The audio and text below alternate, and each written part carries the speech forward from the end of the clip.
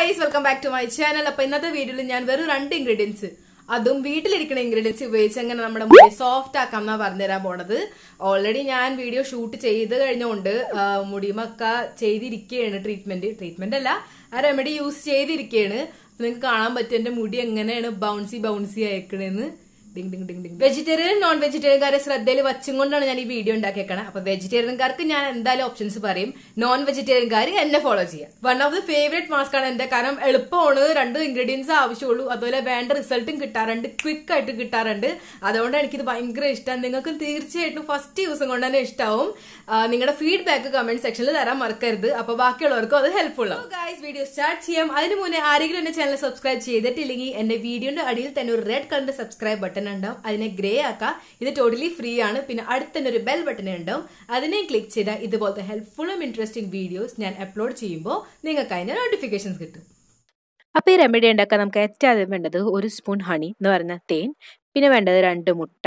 മുട്ട യൂസ് ചെയ്യാത്തവർ ഒരു സ്പൂൺ അലോവേര ജെൽ എടുക്കുക. പിന്നെ ഹെയർ ലെങ്ത് അനുസരിച്ച് മുടി നല്ല നീട്ടമുള്ളതാണെങ്കിൽ രണ്ട് സ്പൂൺ അലോവേര ജെൽ എടുക്കുക. പിന്നെ ലാസ്റ്റ് ആയിട്ട് ഞാൻ ഇവിടെ ഒരു ചെറിയ സ്ലൈസ് നാരങ്ങയുടെ എടുക്കുകയാണ്. ഞാൻ എല്ലാ പാക്കിലും നാരങ്ങ യൂസ് ചെയ്യാറുണ്ട്. അതുകൊണ്ടാണ് ഞാൻ എടുത്തേക്കുന്നത്. നിങ്ങൾക്ക് വേണ്ടെങ്കിൽ അത് അവോയ്ഡ് ചെയ്യാം. ഇനിയിപ്പോൾ നിങ്ങൾക്ക് മുട്ട യൂസ് ചെയ്യുമ്പോൾ സ്മെല്ല് വരണുണ്ടെന്ന് തോന്നുന്നുണ്ടെങ്കിൽ കുറച്ച് ഡ്രോപ്സ് ടീ ട്രീ എസെൻഷ്യൽ ഓയിലിന്റെ ആഡ് ചെയ്തോളൂ. ഇതില്ലെങ്കിലും കുഴപ്പമില്ല. ഒരു സ്പൂൺ ഹണി എക്സ്ട്രാ ആഡ് ചെയ്താൽ മതി. അപ്പം അതിന്റെ സ്മെല്ലൊന്ന് നമ്മളിവിടെ മുട്ടയുടെ വെള്ളം മാത്രമേ എടുക്കണുള്ളൂ. അപ്പം ഞാൻ സാധാരണ മുട്ടയുടെ വെള്ളം എടുക്കുമ്പോൾ ഇതുപോലെയാണ് എടുക്കുക. ആദ്യം അതിന്റെ ഏറ്റവും മോനമുള്ള ഭാഗത്ത് ഇങ്ങനെ പൊട്ടിച്ചിട്ട് അങ്ങനെ കുറച്ച് കുറച്ചായിട്ട് ഇങ്ങനെ ഓട്ടയാക്കിയിട്ട് ഇവിടെ ഇത്തിരി ഓട്ട വലിയതായിട്ടുണ്ട്. പക്ഷെ ഇത്രയും വലിയതാവാൻ പാടില്ല. അല്ലെങ്കിൽ ആ മഞ്ഞ പോർഷനും അതിലേക്ക് ചാടാൻ എന്ന് പറഞ്ഞാൽ ഗ്ലാസ്സിലേക്ക് ചാടാൻ സാധ്യത ഉള്ളതാണ് അപ്പൊ ഇതെനിക്ക് ഇപ്പൊ ഇത്തിരി സൂക്ഷിച്ച് ചെയ്യേണ്ടി വരും. അപ്പൊ ഒരു വിരൽ ഉപയോഗിച്ച് ഇങ്ങനെ പതുക്കെ പതുക്കെ തട്ടി കൊടുത്താൽ മതി. അപ്പൊ ആ വെള്ള പോർഷൻ അതിലേക്ക് വീണോളും. എന്റെ മഞ്ഞ വീണു വീണില്ലാന്നായിട്ട് നിൽക്കായിരുന്നു അപ്പൊ രണ്ടാമത്തെ മുട്ടയിൽ നിങ്ങൾ നോക്കുക കേട്ടോ. എങ്ങനെ ശരിക്കും ചെയ്യണേന്ന്. ഇത്തവണ ഇത്തിരി കൂടുതൽ പൊട്ടിപ്പോയി. പക്ഷെ രണ്ടാമത്തെ മുട്ടയിൽ ഞാൻ കറക്റ്റ് കാണിച്ചു തന്നിട്ടുണ്ട്. അപ്പൊ ഇത്തവണ ഞാൻ ചെറുതായിട്ട് പൊട്ടിച്ചിട്ടുള്ളൂ. മുട്ടയുടെ വെള്ളം സെപ്പറേറ്റ് ചെയ്യാൻ എനിക്ക് ഇങ്ങനെ അറിയുള്ളൂ. നിങ്ങൾക്ക് വേറെ മെത്തേഡ് അറിയാമെങ്കിൽ പ്ലീസ് എന്നോട് കമന്റ് സെക്ഷനിൽ പറയണേ. അപ്പൊ ഇങ്ങനെ ഏറ്റവും ആദ്യം ചെറുതായിട്ട് പൊട്ടിക്കുക. എന്നാലും വെള്ളം മുഴുവൻ പുറത്തേക്ക് വരില്ല. പക്ഷെ നമ്മൾ കുറച്ച് കുറച്ച് അതിന്റെ തൊലി കളഞ്ഞു കഴിഞ്ഞിട്ട് ഇങ്ങനെ തട്ടി തട്ടി കൊടുക്കുമ്പോൾ അത് പൊക്കോളും. എന്നിട്ട് ഇതുപോലെ കുറച്ച് കുറച്ച് തൊലി കളഞ്ഞിട്ട് ഇതുപോലെ തട്ടി കൊടുക്കുക. തട്ടി തട്ടിയിട്ട് പോവാണ്ടായപ്പോൾ ഞാൻ കുടഞ്ഞു തുടങ്ങി. കുടഞ്ഞു തുടങ്ങിയിട്ടാണ് അതൊന്ന് ഇത്തിരി ഫോഴ്സിൽ ഒന്നും കൂടെ ഇറങ്ങിയത്. അപ്പം ഇതുപോലെ കുറച്ച് കുറച്ച് ഇങ്ങനെ തൊലി പതുക്കെ പതുക്കെ കളഞ്ഞുകൊണ്ട് വെള്ളം നിങ്ങൾ സെപ്പറേറ്റ് ചെയ്യാം കേട്ടോ. കുറെ നേരമൊക്കെ എടുക്കൊന്നുമില്ല കുറച്ച് നേരം എടുക്കുള്ളൂ. ഞാൻ വീഡിയോ സ്പീഡിലാണ് വെച്ചേക്കണേ. എന്നാലും എനിക്ക് കുറെ നേരം ഒന്നും എടുക്കാറില്ല. പെട്ടെന്ന് ഇങ്ങനെ വെള്ളം സെപ്പറേറ്റ് ചെയ്യാൻ പറ്റണതാണ് എനിക്ക് എപ്പോഴും പക്ഷെ നമ്മൾ ഓട്ട ചെറുതാക്കി വെക്കണം. അല്ലെങ്കിൽ വെള്ളയുടെ ഒപ്പം മഞ്ഞയും പോരും. ഫൈനലി വെള്ളയുടെ വലിയ പോർഷൻ ഗ്ലാസ്സിലേക്ക് പോയി. ഞാൻ കുറച്ച് അതിനകത്തൊക്കെ ഇരിപ്പുണ്ടാവും. അപ്പൊ അതിങ്ങനെ ജസ്റ്റ് കറക്കി തിരിച്ചിട്ട് കുടഞ്ഞു കൊടുക്കുകയാണ്. പക്ഷെ എന്നാലും ശ്രദ്ധിക്കുക മഞ്ഞ പോകരുത് കേട്ടോ എന്നിട്ട് ഒരു സ്പൂൺ ഹണി ആഡ് ചെയ്യുക. ഇനിയിപ്പോൾ നിങ്ങൾക്ക് മുട്ട യൂസ് ചെയ്യാൻ പറ്റിയില്ലെങ്കിൽ രണ്ട് സ്പൂൺ ഹണിയും പിന്നെ രണ്ട് സ്പൂൺ അലോവേര ജെല്ലും മിക്സ് ചെയ്യാം.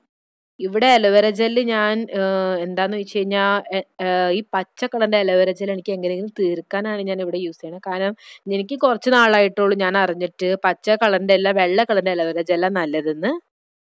അപ്പൊ ഞാൻ നാരങ്ങയും കൂടെ പിഴിഞ്ഞിട്ട് ഇങ്ങനെ നന്നായിട്ട് ശർബത്ത് പോലെ അടിച്ചു കൊടുക്കുകയാണ് അപ്പൊ നിങ്ങളുടെ വീട്ടിലും പച്ച അലവേര ജെല്ലൊക്കെ ഉണ്ടെങ്കിൽ അത് ജസ്റ്റ് മേക്കപ്പിന്റെ പ്രൈമറോ അല്ലെങ്കിൽ മുടിയിൽ അപ്ലൈ ചെയ്തിട്ട് യൂസ് ചെയ്ത് തീർക്കാട്ടോ ഇപ്പൊ കുറെ നാളെ എനിക്ക് മാസ്ക് അപ്ലൈ ചെയ്തിട്ട് എനിക്ക് തീരെ സമയം കിട്ടില്ലായിരുന്നു. എണ്ണ ചെയ്യാൻ സമയമില്ല.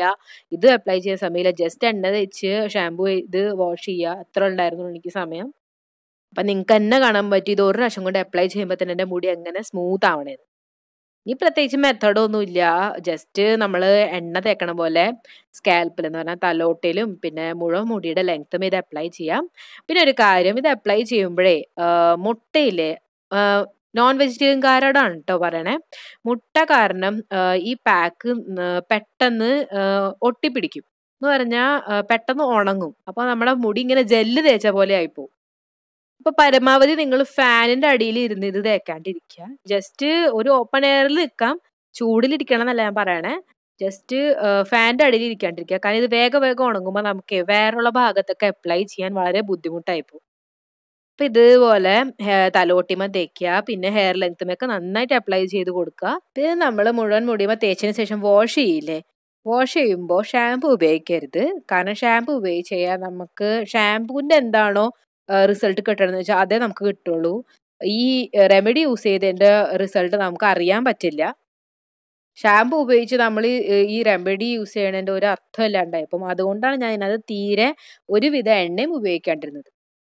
സാധാ വെള്ളം വെച്ച് കഴുകിയാൽ മതി. നന്നായിട്ട് കഴുകി പോകും പിന്നെ നിങ്ങൾക്ക് സ്മെല്ല് തോന്നുന്നുണ്ടെങ്കിൽ ഞാൻ പറഞ്ഞില്ല ടീ ട്രീ എസെൻഷ്യൽ ഓയിൽ അല്ലെങ്കിൽ ഒരു സ്പൂൺ എക്സ്ട്രാ തേൻ ആഡ് ചെയ്താൽ മതി. കണ്ടില്ലേ? മുട്ട തേച്ചപ്പോൾ എന്റെ മുടി കറണ്ട് അടിച്ച പോലെ ആയത്. തേച്ച് വയ്ക്കുമ്പോഴുള്ള മാത്രം ആ നേരത്തുള്ള പ്രശ്നമുള്ളൂ. പക്ഷെ കഴുകി കഴിയുമ്പോഴാണ് നിങ്ങൾക്ക് അതിന്റെ ശരിക്ക് റിസൾട്ട് കാണാൻ പറ്റുക. നമുക്ക് മുട്ടയുടെ മഞ്ഞയും യൂസ് ചെയ്യാന്നാണ്. പക്ഷെ എനിക്ക് അതിന്റെ സ്മെല്ല് തീരെ സഹിക്കാൻ പറ്റില്ല. അതുകൊണ്ടാണ് ഞാനത് യൂസ് ചെയ്യാത്തത്. മുട്ടയുടെ വെള്ളം എന്നെ ധാരാളമാണ്.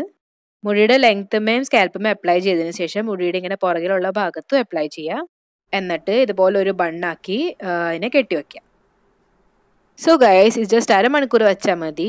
അപ്പം ഞാൻ വാഷ് ചെയ്തു. ഇനി വൈകുന്നേരം മുടി ഉണങ്ങിയിട്ടുള്ള റിസൾട്ടാണ് ഈ കാണുന്നത്. എന്റെ മുടി നല്ല സോഫ്റ്റ് ആയിട്ടുണ്ട്. നിങ്ങൾക്ക് ഇതേ മുടിയിലുള്ള ഷൈനും കാണാൻ പറ്റും. ഈ ഷൈൻ ഞാൻ ചെറിയ സ്ലൈസ് നാരങ്ങ യൂസ് ചെയ്തില്ലേ അതിൽ നിന്നാണ് ഈ ഷൈൻ എനിക്ക് കിട്ടിയത്. എന്റെ മുടി നല്ലോണം സ്മൂത്ത് ആയിട്ടുണ്ട്. ഗൈസ് നിങ്ങളും തീർച്ചയായിട്ടും ഈ റെമഡി ട്രൈ ചെയ്യണം. പിന്നെ നിങ്ങളുടെ എക്സ്പീരിയൻസ് എന്നോട് കമന്റ് സെക്ഷനിൽ ഷെയറും ചെയ്യണം. സോ ഗൈസ് ഇതായിരുന്നു ഇന്നത്തെ വീഡിയോ എന്റെ വീഡിയോ കുറച്ചെങ്കിലും ഇഷ്ടമായിട്ടുണ്ടെങ്കിൽ ഇപ്പൊ തന്നെ എന്റെ വീഡിയോന് ഒരു ലൈക്ക് കൊടുക്കണേ. ഈ വീഡിയോന്റെ റിലേറ്റഡ് എന്ത് ക്വസ്റ്റൻസ് ഉണ്ടെങ്കിലും എന്നോട് കമന്റ് സെക്ഷനിൽ ചോദിക്കാം. പിന്നെ എന്നെ ഇൻസ്റ്റാഗ്രാമിൽ ഫോളോ ചെയ്യാൻ താല്പര്യം ഉണ്ടെങ്കിൽ അതിന്റെ പേര് ഞാൻ സ്ക്രീനിൽ മെൻഷൻ ചെയ്തേക്കാം. പിന്നെ ഇതുപോലത്തെ ഹെൽപ്ഫുൾ ഇൻട്രസ്റ്റിംഗ് വീഡിയോസ് കാണണ്ടേ? അപ്പൊ പ്ലീസ് എന്റെ ചാനൽ സബ്സ്ക്രൈബും ചെയ്തേക്കാം. Thanks for watching my video children take care and bye